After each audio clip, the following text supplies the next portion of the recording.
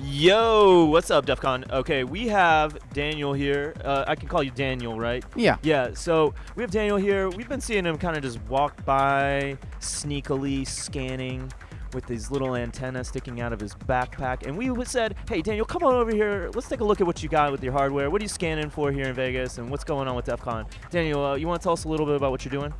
Yeah, so mostly what I'm doing is scanning for the aircraft positions in the area, mostly because of how close DEF CON is to uh, Harry Reid International Airport. Uh, so I'm able to get the air traffic control uh, and mostly the aircraft positions uh, live and in real time uh, and for free, pretty much.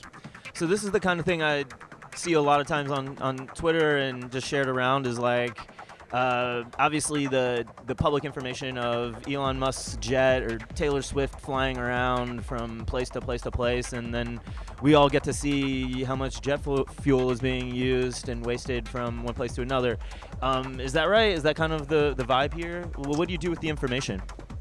Uh, I just like looking at like pretty much the air traffic around me, seeing oh this is where this aircraft is going, and this aircraft might be above me right now, and it, it's going to, for instance, Denver.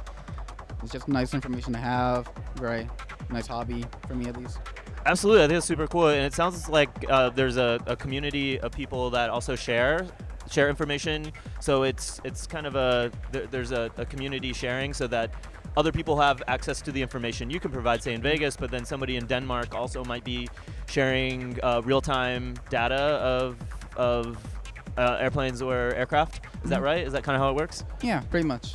That's super cool. And can you visually see um, like how do you how are you able to visually see the information once you get it um, once you bring it down from the air? So some um, software that people use are they have built-in scopes which are pretty much top-down views uh, with a map that shows you the pretty much location of where the aircraft is showing you its altitude, its speed, uh, the direction that it is, the call sign. So you can see this aircraft is an Alaskan Airlines flight to uh, Colorado that is 19,000 feet in the air going this speed or whatever, pretty much.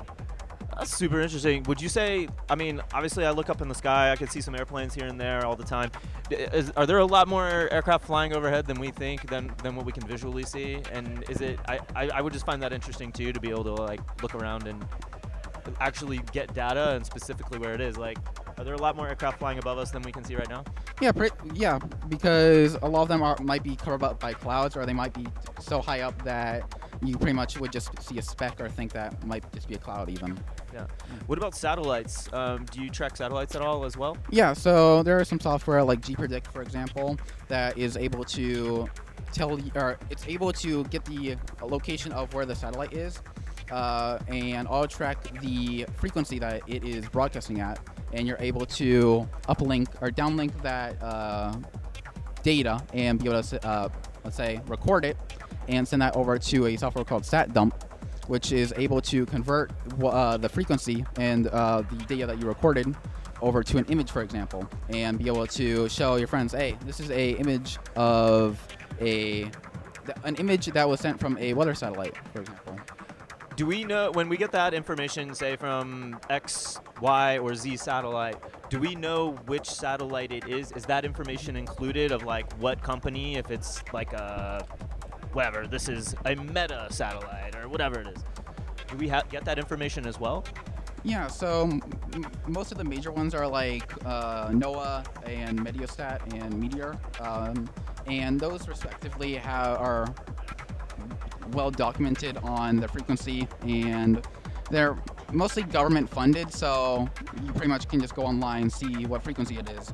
And even with gPredict it already knows the frequency and where that location is because it is able it automatically updates the positioning file that it has to where that satellite is so it can predict it even if you're offline Got it. So I mean, yeah. Uh, once you get kind of get the routine, mm-hmm. then it's it's all predictive at that point, and you know where the orbit, where in orbit it will be at any given time. Yeah, yeah. but sometimes you might need to occasionally update it just in case, because it can be off by a few minutes maybe at some point if you keep it out of date for long enough. So tell me, are there is there any information that you would say is anything you've learned that the common public might not know from the type of research you've been doing?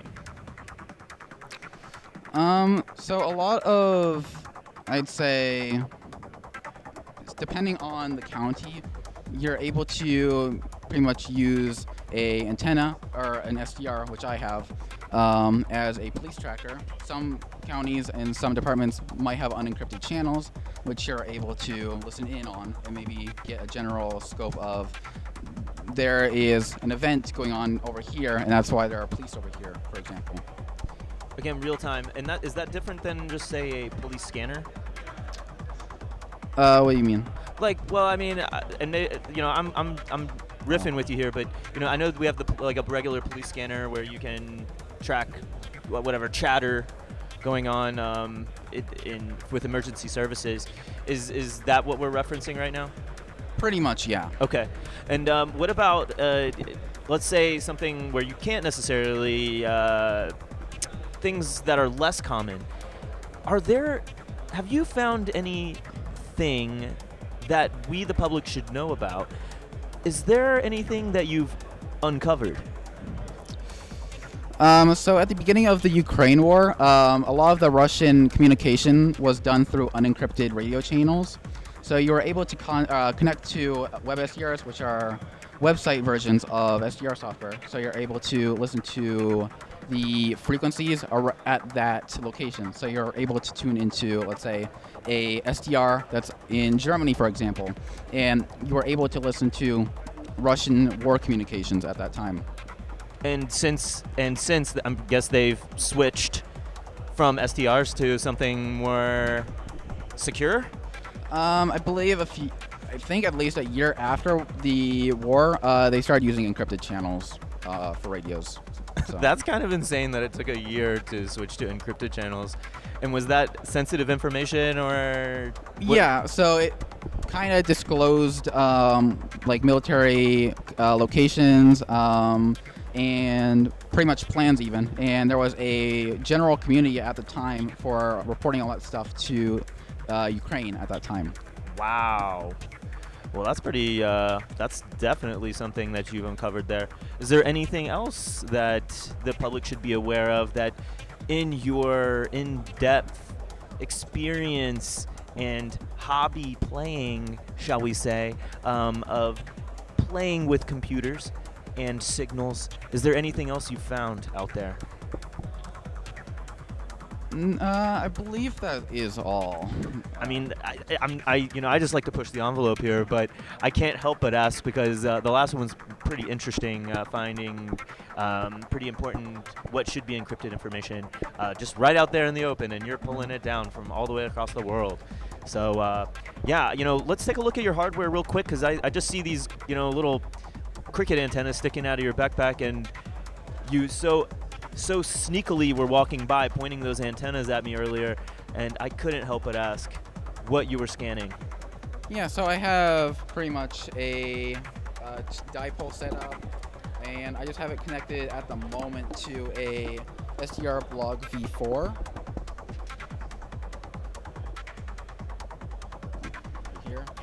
Have it going through a FM and AM amplifier just to bring up the lower frequencies um, up more, so that I'm able to actually uh, receive them better. got it so and then all of these plug directly into computer and are just they're just scanning directly with software correct Uh, pretty much, yeah. Yeah. Because SDR uh, stands for Software Defined Radio. Uh, so I'm able to pretty much load up either Linux, Windows, or even Mac OS, and just be able to plug this in, and it will work. have you uncovered anything here at def con Um, that I, should be known by the public I heard that the, uh, I believe the Ham Village was sending out signals uh, throughout the day, and they were pretty much images um, and stuff. That's cool. That's definitely cool. Well, um, man, I appreciate your time. I think the most, by far, the most interesting thing was uh, intercepting messages from from Russia. I think that's really insane. Um, as most of the people watching this will agree, maybe. Uh, but Daniel, I appreciate your time, and I'm glad uh, we got to sit here and have this conversation because you are quite an interesting character, my friend. Thank you. Keep keep up the good work. Be relentless, my friend. Thank you. Thank you, Daniel.